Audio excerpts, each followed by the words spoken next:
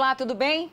Olha, o Alba Entrevista de hoje, ele é paraquedista, filho de pai coronel da Polícia Militar, irmão de policiais e um destino, a PM.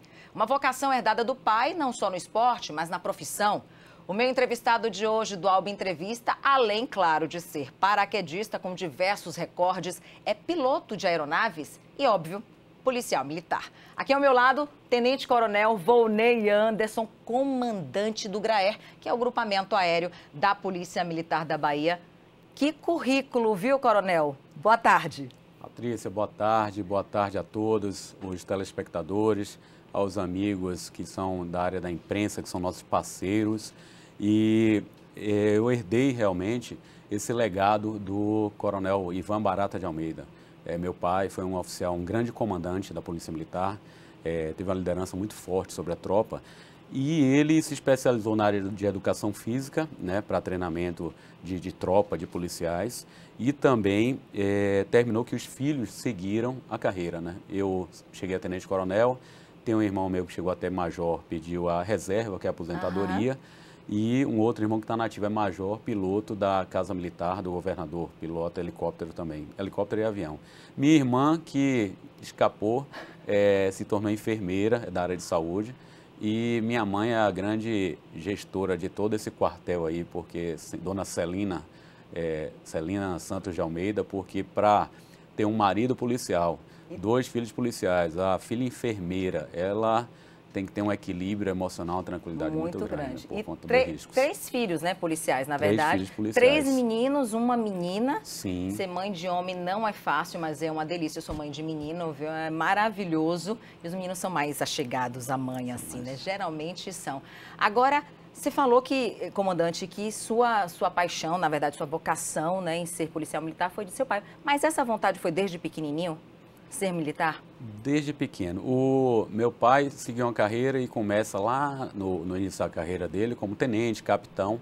E os filhos é, acompanham às vezes, vai no trabalho, jogam futebol no quartel, vê ali uma parada militar no 7 de setembro. Então, é, devido à profissão do meu pai, nós frequentávamos o quartel, mas como convidados para participar.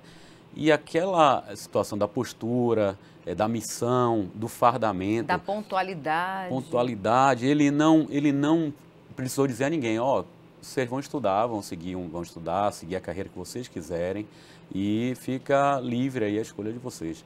Os três homens foram para a carreira militar sem ele de nenhuma forma obrigar ou indicar. E né? nem, hoje em dia nem precisa é, mais muito tranquilo, disso, né? que, às vezes ficam pensando que houve uma interferência muito grande. E minha irmã, não, ela teve a vocação realmente de saúde, da área de saúde, e seguiu essa, essa linha diferenciada. Então, desde criança eu tenho duro de polícia militar, é, 32 anos de serviço, né? 32 anos, indo para 33.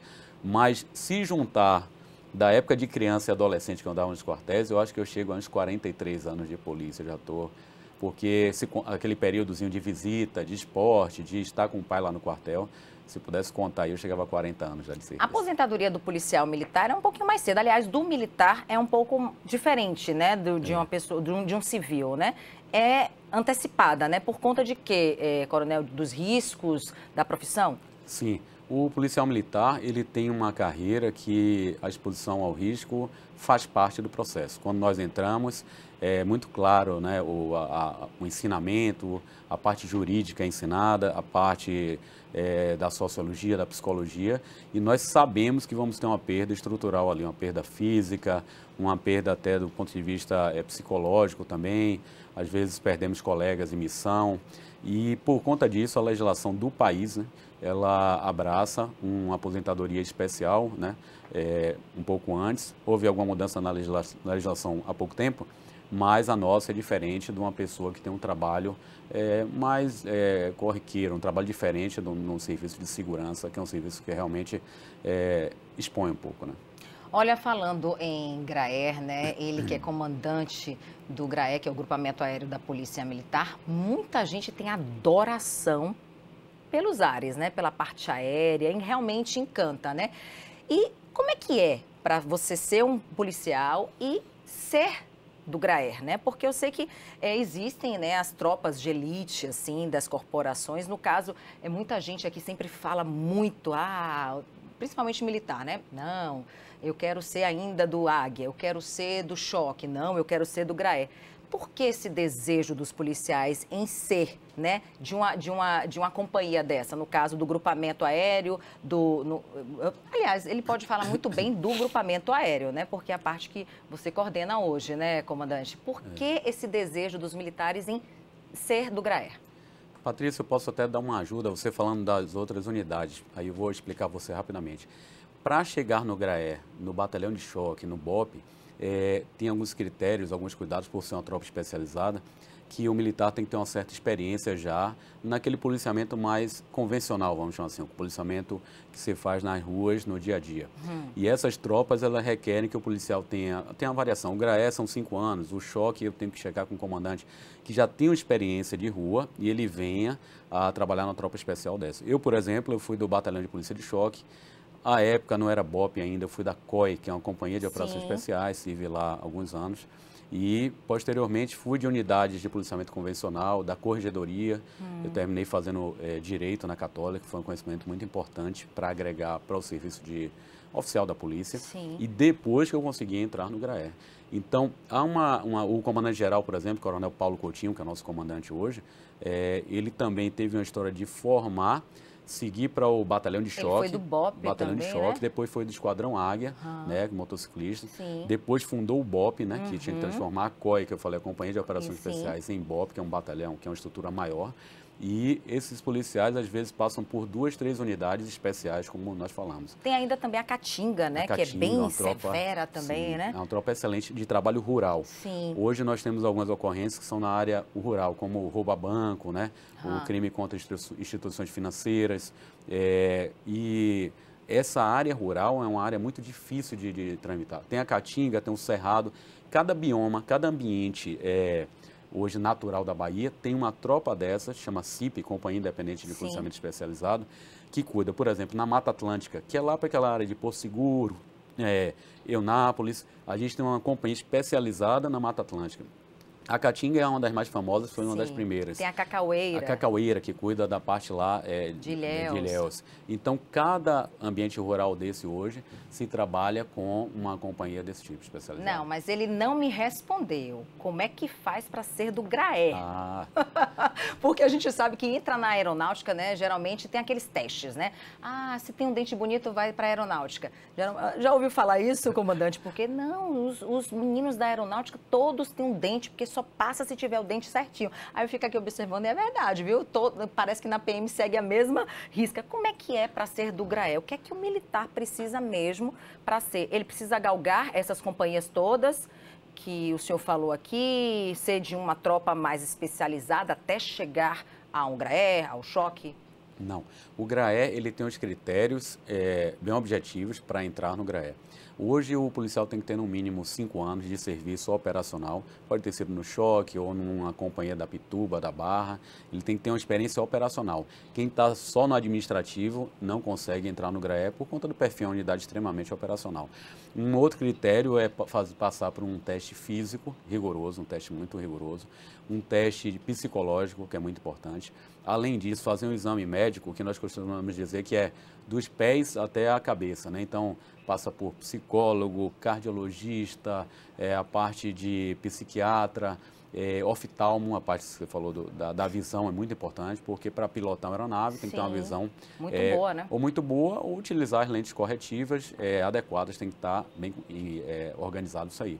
E por último, e não menos importante, a parte é, da disciplina, a parte correcional, o histórico de vida da, da pessoa tem que estar tá totalmente é, idôneo ali, né? Não pode estar respondendo processos disciplinares, processos na parte é, penal, né? Então, para entrar na unidade aérea, existe uma série de critérios, desde o físico até o comportamento, a postura, a compostura do policial e passando pela parte intelectual, psicológica, médica, para ingressar na unidade. O filtro para entrar na unidade realmente é bem rigoroso e o objetivo disso é porque o, o, trabalho de ser policial já é um trabalho complexo, Patrícia. Você sabe que tem os riscos, tem que ter a técnica para é, enfrentar uma, uma crise, uma ocorrência mais complexa para ser policial. Aí você pega a parte de aviação, você soma, você adiciona um risco a mais. Então, ele tem que entender da parte policial e vai partir para a parte policial aérea. Então, pode ter uma pane na aeronave, pode haver uma ocorrência mais crítica, que é a aeronave próxima a fogo, aeronave próxima à água, como foi no extremo sul Animais, agora Animais, né, que se batem Animais, em aeronaves. É, sim, o, o perigo aviário, né? Sim. Então, é, para entrar lá, o rigor é um rigor que é justificado, para que nós tenhamos lá profissionais nem melhores nem piores do que ninguém. O, o militar do choque, do BOP, do GRAER, ele não se considera até porque a humildade é, é, um critério também que a gente avalia lá do ponto de vista psicológico. O autocontrole, a discrição. Então, aquela pessoa que é muito acelerada, que é muito assim, até gosta muito de, de, de estar à mostra, não é um perfil é, interessante sobre o aspecto, né, para entrar, para fazer parte do GRAER, que é todo estudado, né, exames né, físico, psicológico, psiquiatria, para saber se pode coordenar, comandar, pilotar Perfeito. uma aeronave. E vocês se debatem muito com isso, né? Policial que está na rua nativa se debate com qualquer ocorrência aí que a gente não sabe se vai voltar para casa ou não. E tem ainda o lance dos salvamentos que vocês fazem muito e fizeram muito agora na chuva de dezembro, finalzinho de novembro, dezembro inteiro aqui, uma chuva que deixou realmente parte da Bahia destruída debaixo d'água. Foram mais de duas mil horas de voo, né, comandante, em um mês, de 8 de dezembro a 8 de janeiro agora de 2022. Como é que foi essa logística, hein? Porque haja efetivo, né, para estar tá trabalhando o tempo inteiro. Nós tivemos a notícia né, através do nosso governador, o governador do estado acionou o comandante-geral no dia 9 de dezembro. Foi quando chegou aquela frente fria. Começamos ali pelo extremo sul do estado, né? Aquela parte ali de Itamaraju, é, Prado, Cumuruxatiba, perto de Porto Seguro, tudo ali muito naquela região do sul ali do, do da Bahia. Ah, essa tromba d'água, essa, essa carga de chuva que chegou, segundo os mais idosos que é, é, estão vivos hoje, dizem que isso ocorreu ali em 65, 67, que o que nós vimos lá, e aí imediatamente com a ordem do governador e do nosso comandante-geral, nós mandamos um helicóptero logo para é, aquela parte da Maraju. Foi logo ali o primeiro Vereda. lugar. Quando mandamos um helicóptero, já veio a, a solicitação para mandar um avião cheio de bombeiros. Né? Mandamos o avião também, nós temos um caravan, um avião muito bom. Mandamos o avião. E a notícia que nos chegou lá dos oficiais que foram para lá é que a situação era caótica e nada visto em termos de enchentes é, nos, nas últimas, estado, nas né? últimas décadas aí no estado. E aí a notícia que chegou foi o seguinte, que tinham veículos sendo levados, né? Casas sendo é, é, desmanchadas, né? caindo. E o que estava alagado não era apenas aquele rio e aquelas casas ribeirinhas que são próximas ao rio. O rio, ele encheu e aí, junto com a chuva e entrou na cidade, onde tem o Banco do Brasil, Só a Caixa né? Econômica. Né? É, ficou, ele ficou à altura de 3 metros, 4 metros de água. E as pessoas perderam seus objetos, né? É, começaram a adoecer, é, muita gente com a parte de AVC, tendo AVC, é, problema cardíaco, respiratório. Parturientes foram muitas, parturientes é, foram 19, se não me falha a memória lá. Agora, em estado assim, é, crítico, né? Não era aquela parturiente que estava controlada, estado ali com a, já aparecendo pra alguma parir, doença, né? para parir, hemorragia começando a acontecer. Então, foi uma operação de guerra. Em determinado momento, o governador autorizou colegas de outros estados virem. Então, tivemos alguns estados aqui que, por exemplo, Rio Grande do Norte, São Paulo, Minas Gerais, uhum. Alagoas, Sergipe, é, uma série de Brasília, uhum. é, de aeronaves que foram chegando. E aí o GRAE tomou uma iniciativa porque quando começa a ter esse tráfego aéreo muito grande, alguém tem que sugerir a coordenação. Né? Então eu entrei em contato com os comandantes desses estados e sugeri, né, pedir licença, pedir permissão para ver se o GRAE, por ser da Bahia, por conhecer o território, Sim, poderia falar, né? coordenar. Né? E essa coordenação foi aceita e aí nós coordenamos 19 helicópteros, três Nossa. aviões, um do GRAE e dois de São Paulo, 22 aeronaves. É, um, é uma frota, Patrícia, assim, para a gente mexer, que é uma frota muito grande. Eu não sei se países pequenos aqui, é, da América do Sul, por exemplo, ou América Central, e foi necessário teria uma frota isso, dessa de helicópteros. Foi necessário. Por quê? Colaps... Era muita gente ilhada. Colapsou o extremo sul, começa por lá. Depois essa enchente anda para a parte do sul, é ali Ilhéus, Itabuna, e na parte do sul ali gera um problema é, é grande também, parecido com igual o do extremo sul. E depois chega a notícia é, que o Vale do Jiquiriçá, para você entender que já é perto de Feira de Santana, ali Jiquiriçá, Laje, é, Ubaíra, né, que é um São João até conhecido, Sim. começou a colapsar também. É, edifícios lá entrando e caindo, casas. E por Jiquiriçá eu fui. Quando eu já tinha mandado uma, um grupo para o extremo sul, um grupo para o sul, eu estava na, na gestão em Salvador, um momento o governador estava até embarcando lá no, no Graé e deu uma determinação imediata, decole, comandante, lá para a parte de Ubaíra, que tem gente para morrer lá, no, no, na situação está crítica. Então eu recebi uma ordem governamental, o comandante-geral confirmou, e aí eu fui e vi pessoalmente lá. É, eu tenho imagem, não, não, sei se poderia passar para vocês depois. A gente está passando essas ah, imagens. Tá. É, de, tirando pessoas do telhado de casas, Sim. utilizando um equipamento nosso chamado cesto. O helicóptero ele desce um, um cabo com um cesto que parece uma gaiola, né? Sim, Parece um pulsar. Para resgatar a pessoa Para resgatar ali no pessoas, cesto. mas imediatamente, o, esse tipo de ocorrência não é Ela é ocorrência. mesma segura na, não, na não, sacola? Nós mandamos um militar lá dentro. Ah, um. Pra, as pessoas estão muito nervosas, estão chorando, estão passando mal. O militar nosso vai já nessa gaiola, nessa, nesse e cesto. pega a pessoa. E pega a pessoa. E ele, e ele faz uma gestão ali, primeiro logo ali, idosos, né, que são... Sim com o problema do idoso, né? Depois criança também, que é importante, parturiente, por último, os que estão mais fortes. Então, a, o militar nosso, ele além de manter a segurança, ele faz uma gerência desse tipo de ocorrência. Então, eu pessoalmente tirei bastante gente lá com esse cesto. Teve pessoas que eu tive que encostar o helicóptero é, em cima do telhado realmente, colocar ali pertinho, com risco até de voar a telha, mas a gente vai fazendo uma manobra, analisando se dá, e embarcar umas pessoas diretamente na aeronave e muito fio de alta tensão, muito, muito poste, árvore e bem arriscada a operação, muito arriscada. Olha, o comandante vai continuar falando, a gente vai dar um rápido intervalo e volta. A gente vai falar ainda sobre essa ação que foi a maior ação realizada no estado pelo GRAER durante muito tempo, acho que é a mais longa também, é, não só de salvamento, mas de tempo.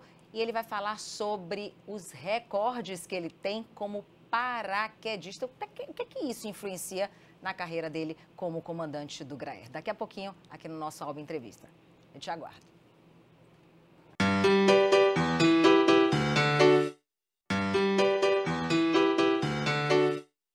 Estamos de volta aqui no Alba Entrevista com o comandante do GRAER, o Grupamento Aéreo da Polícia Militar. É, minha gente, é, é, curioso, né? Todo mundo gosta de falar sobre a aeronáutica, é muito bacana, né, comandante? Tem os seus prós e contra, né?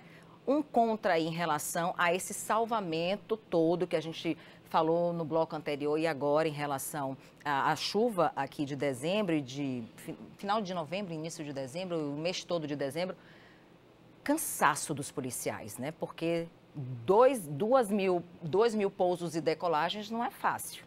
Né, comandar como aquilo que você bem falou, comandante, a cabeça, o corpo, tem horas que pifa, né? O corpo, principalmente, que é cama, e não podia parar. É, a operação foi uma operação de combate, realmente, de, de salvamento. E foi essa, esse número que você falou, tem alguns outros números impressionantes, Patrícia, queria falar aqui. É, foram mais de 2 mil pousos e decolagens. É muita coisa, é um volume, imagine 2 mil pousos e decolagens juntos ali para salvar Gente. pessoas. Em termos de hora de voo, foram mais de 550 horas. O que se voa, isso aí quase em, em um ano, em uma operação, se voou em um mês. Agora, helicópteros, como eu falei, é da Bahia e de outras partes do Brasil nos ajudando. Sim. Então, é, os números impressionam. O GRAE hoje está num número de 17.500 horas. Para você ver que no mês, a gente tem 15 anos voando isso, 17.500. Em um mês a gente voou 500, então a proporção é, é, é muito forte dessa operação que a gente teve lá. É, Todo to... o efetivo trabalhou? Todo a FET trabalhou. Quem não estava lá na operação, a gente precisa de um suporte na logístico, base, uma né? retaguarda para apoiar. Então, hoje eu costumo dizer que o GRAE não só são, com certeza, aqueles que voam. O GRAE precisa daquelas pessoas que fazem é, a parte o mecânica, mapa, né? o mapa, o combustível, a parte logística de armamento, alimentação. Então, a gente é toda uma equipe de 116 total, do mais novo a, a até minha pessoa, que sou lá o, o mais veterano, vamos dizer assim, é, são 116, desses aí 16 são mulheres, né? Mulheres guerreiras, tem mecânica, tem mulher que é do abastecimento lá, abastece, tem dirige mulher caminhão. piloto. Piloto, temos pilotos de, duas pilotos de helicóptero, a capitã Maíra e a capitã Danusa. E o GRAE é uma unidade que essa logística foi muito forte, porque quando colapsou o extremo sul, surgiu a informação do sul. Nós tivemos que é, direcionar helicópteros para lá, sem tirar do extremo sul. Quando surgiu do Vale de Quiriçá, que é aqui perto de Feira já, então tivemos que operar no extremo sul, em várias cidades, no sul do estado, que já é mais no meio ali, e a parte do Jiquiriçá. Então, até o ponto do comandante ter que colocar o colete lá, para o capacete, pegar uma aeronave e ir para o terreno. E deixei aqui o meu subcomandante, que é o Tenente Coronel Taranto, é um parceiro de todas as horas, é, o Major Aragão teve na operação, que é outro também, um dos pilotos mais experientes que tem lá, o Major Rogério Aragão. E nós, como os mais veteranos, dissemos, ó, vamos distribuir o graé, caminhões, tanques de combustível. E se não tiver onde pousar? Porque nem sempre tem área para pousar, né? Nem Isso sempre. É muito delicado essa parte. O piloto policial, o piloto militar, ele tem um treinamento especial que nós temos às vezes pousar em campo de futebol, em área que tem areia, tem aquela a, a suspensão Sobe, né, da né? poeira. Né? E já teve acidentes no mundo inteiro, no exterior e no, no Brasil. Há pouco tempo tivemos acidentes aí, porque se o piloto não tiver com atenção extrema ali, totalmente focado no que está fazendo, a tripulação também, tem os tripulantes operacionais, são dois militares ali, justiça seja feita, que são nossos olhos ali, a lateral e a retaguarda, que eles andam ali fazendo a segurança. Se tiver um, um, um momento de distração, né, os americanos costumam dizer o seguinte: se você olhar para o lado nesse momento, quer dizer, distrair. É o segundo, é, né? Coisas ruins acontecem. Então, assim, não distraia, não pode pensar ali naquela então, hora. Então, é quem está atrás que vai dizendo. Ele é um auxílio. O piloto olha do meio para frente Sim. e ali do meio para trás são tripulantes operacionais, sempre, observadores aéreos. Sempre, sempre na aeronave, no caso, no helicóptero, Vão quantas pessoas? Três policiais? A nossa operação é com quatro. O quatro. padrão é com quatro. O helicóptero, um pega seis pessoas, outro pega mais do que isso, o avião também. Mas para um padrão, para podermos pegar uma pessoa para dar socorro, uma pessoa que está doente ali, nós vamos um pouco mais leve para poder ter espaço para passageiros ou feridos que a gente venha trazer. Então, hoje, nessa operação, foi uma operação extremamente crítica pela dinâmica que acontecia. Ah, tem pessoas no telhado em tal lugar, tem uma pessoa com comorbidade ali, com, deu um AVC e está quase para falecer. Então, foi uma operação que tivemos que cuidar para não entrar pelo acidente, pelo incidente. E graças a Deus foi uma operação totalmente segura. É, a população em si, que nós somos servidores da população. Não, ele está emocionado, Não. gente. É emocionante mesmo. Falar nisso, em emoção. Qual foi uma história, você como comandante do GRAE, dentro do GRAE, um salvamento que realmente eu acredito que um desses, ou todos esses aí, na, no período da chuva agora de dezembro, foram salvamentos emocionantes. Mas tem sempre um que chamou sua atenção, comandante, pelo, pela gravidade, por ser idoso, por ser criança, enfim. Foi, foi ainda agora nesse período de chuva ou foi em algum momento, tipo, num incêndio?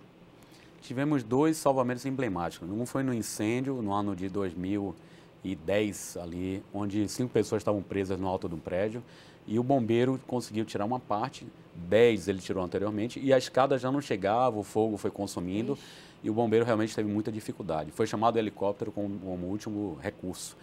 E foi uma operação onde teve que descer um militar do GRAE de rapel, aquela corda que Sim. desce ali em cima do, do, incêndio praticamente. E tivemos depois descer um equipamento para transportar as pessoas penduradas no sling, né? Então pega uma alça aqui pela parte é, do, do, do, ombro, da axila Vixe. e faz o transporte. E tipo fica é, assim, muito né? Muito pêndulo, tem muito pêndulo.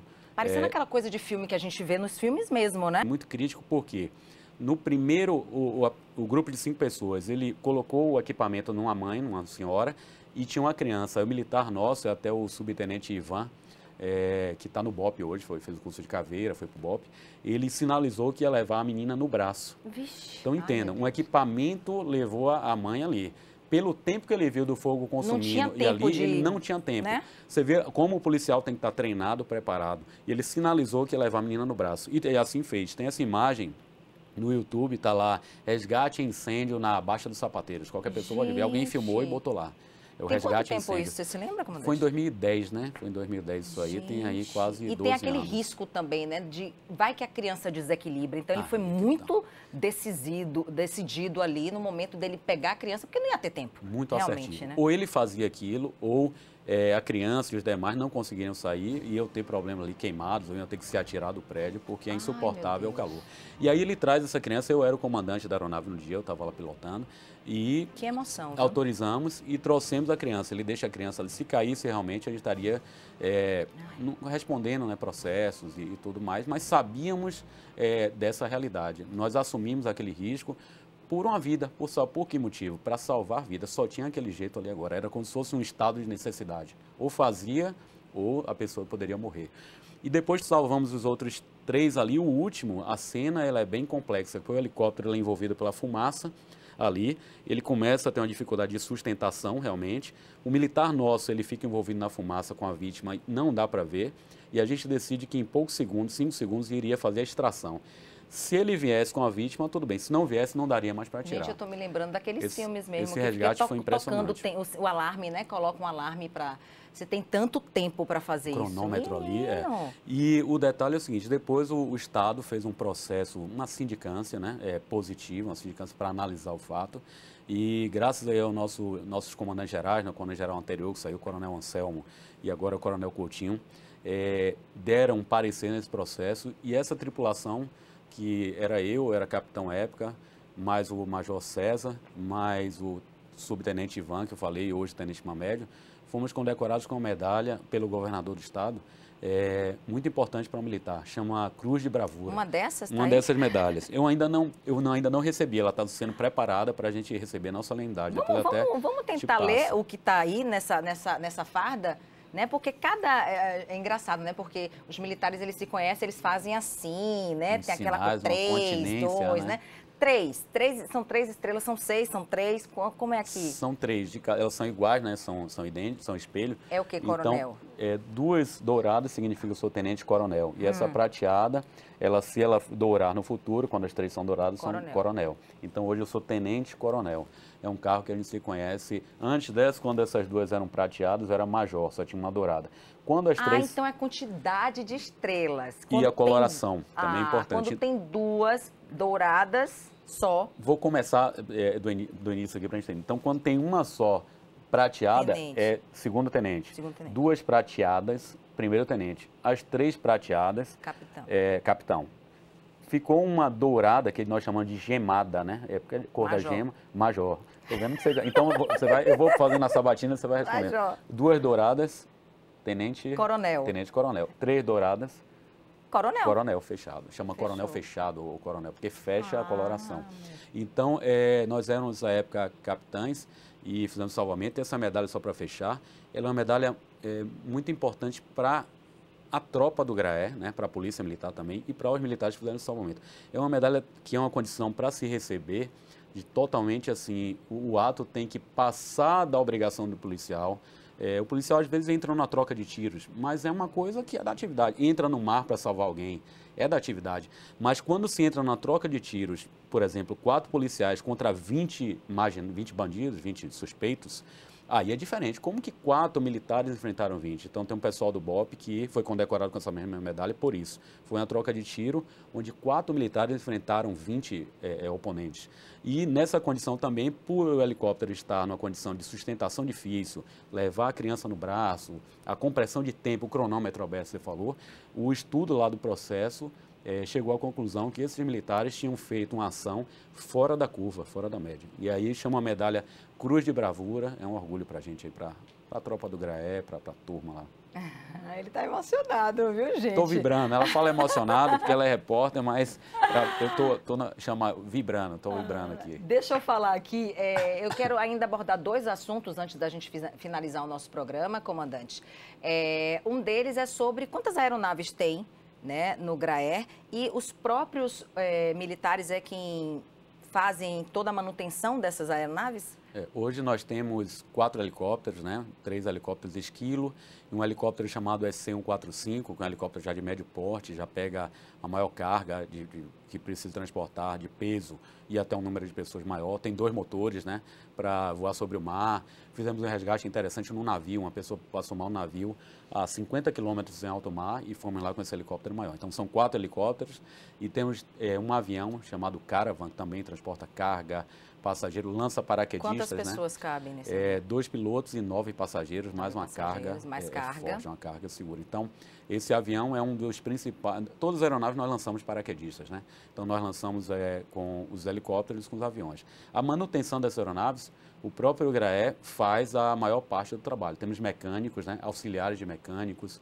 E essa, quando é uma manutenção mais complexa, que tem que abrir o motor profundamente, chama uma manutenção de 600 horas ou de 12 anos de operação, aí nós mandamos para o fabricante, que fica em Minas Gerais, Itajubá, e o fabricante faz um trabalho mais minudente de trocar muitas peças, de abrir. Mas temos mecânicos lá, são profissionais exemplares que trabalham conosco. Agora, em relação aos riscos, né? A gente sabe, a gente está falando de polícia e está falando de aeronave. Já perdeu alguém da sua tropa, é, o Graer, nesses 15 anos né, de, de existência? Quantos militares é, morreram, quando, se teve. A gente tem muito desastre de aeronave, né? A gente vê muito isso. Eu sei que vocês são muito treinados, muito capacitados. E existe esse treinamento justamente para evitar esses possíveis riscos, mas são riscos, né? E, os riscos podem ser inevitados. Podem ser evitados, mas também podem acontecer. Já aconteceu alguma situação assim inusitada de uma aeronave cair? A gente vê muito isso na parte militar, principalmente quando é em relação à, à Esquadrilha da Fumaça, né? É, a parte é, do acidente, o incidente, a gente tem um setor lá no GRAE chamado Coordenação de Segurança Operacional, ou de Segurança de Voo, que ele trabalha preventivamente de uma maneira muito forte, com palestras, com instrução, treinamento. E é, a parte de treinamento dos pilotos, há um investimento governamental muito forte, onde todos os pilotos do GRAE passam por um treinamento chamado treinamento de emergência. O que é isso? É, falando de uma forma, maneira mais simples. É, nós vamos para escolas de formação é, de ponta, de, renomadas, que são as mais qualificadas do país, ou até nas Forças Armadas, e treinamos como tirar potência da aeronave, como a aeronave perder ali um hidráulico, né, que é o que facilita, fica mais leve, ela fica pesada, como poderia ser se perdesse é, o rotor de cauda, né, que é aquela hélice lá de, da cauda que deixa a aeronave estável. Então, há treinamentos rigorosos que nós passamos. Eu já fiz, por exemplo, mais de 10 vezes um investimento do governo muito forte. Todos os pilotos já fizeram, talvez um número menor, né, porque eu sou um dos mais velhos lá. E esse treinamento é o que nos garante um nível de segurança maior. Né? maior. Então, as aeronaves no Graé nunca tiveram algum problema de ter uma falha ali de hidráulico ou acender uma luz ali diferente de, de temperatura. Tiveram sim, porque todo, todo mundo que voa né, no mundo, no planeta e no país, a aeronave vai apresentar ali um, uma pequena falha. Só que o treinamento, Patrícia, aí é que faz a diferença. O treinamento ele é muito importante é, porque ele vai, ao invés de dar aquele susto e dar aquela ali, aquela visão de, de, de túnel, né, aquela visão ali toda encurtada, na hora que o militar está preparado, que ele foi treinado, ele vai respirar e vai começar a aplicar uma série de procedimentos. Procedimentos do manual da aeronave, procedimentos que ele participou no treinamento ou de em salvamento, escolas, né? É, de, de se ejetar, né? Ejetar não, a gente não utiliza as aeronaves só para isso. É de, de salvar a ele aos passageiros e aeronaves. Então, se tiver uma pane na aeronave cair, do GRAE, né? é, nós não fazemos uma ação do piloto ejetar. Nossa ação é de colocar a aeronave no chão com maior segurança. Eu tenho um episódio particularmente eu estou ficando já veterano na unidade, é, porque esse episódio foi em Mucugê, não tem problema nenhum de nós narrarmos aqui, já foi apurado pelo CENIPA, né? Sim, que é o Centro de Investigação Brasília, né? e Prevenção de Acidentes Aeronáuticos, é um órgão muito sério da Força Armada, da FAB, né, da Força Aérea, onde eu tive uma dificuldade com o motor, o motor teve uma perda de potência, praticamente foi,